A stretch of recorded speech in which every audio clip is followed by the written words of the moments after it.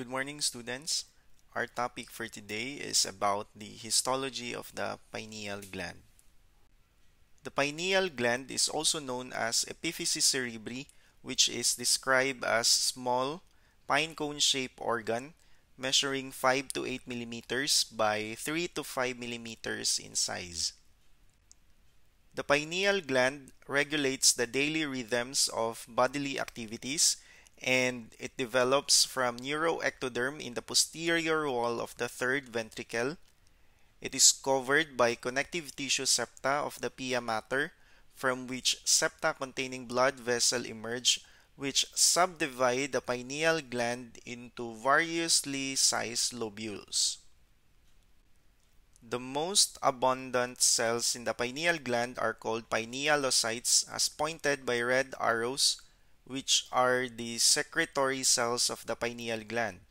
So these cells produce melatonin which maintains the body's circadian rhythm. Pinealocytes have slightly basophilic cytoplasm and irregular euchromatic nuclei.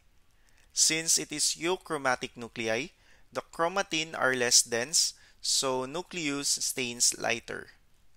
Pinealocytes also have secretory vesicles, abundant mitochondria, and long cytoplastic processes. Melatonin release from pinealocytes is promoted by darkness and inhibited by daylight.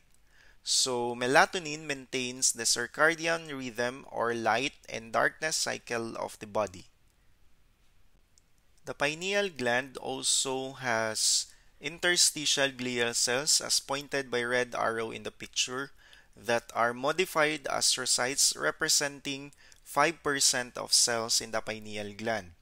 It stains positively for glial fibrillary acidic protein and these cells have elongated nuclei more heavily stained than those of pineal pinealocytes and are usually found in perivascular areas and between the groups of pinealocytes.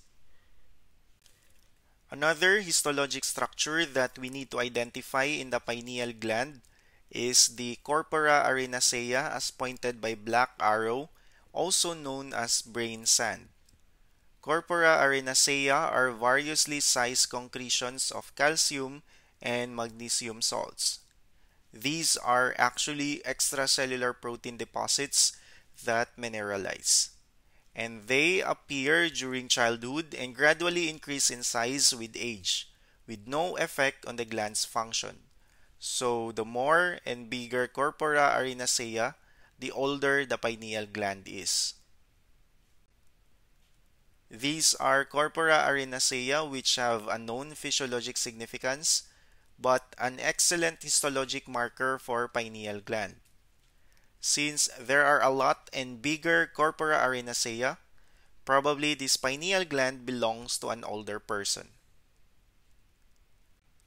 And now let's try to identify some structures. Identify the cells or pointed structures.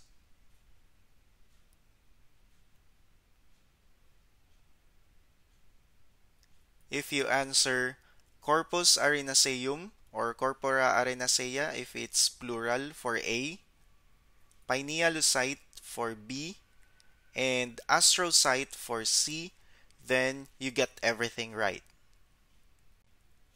And that's the end of our lecture.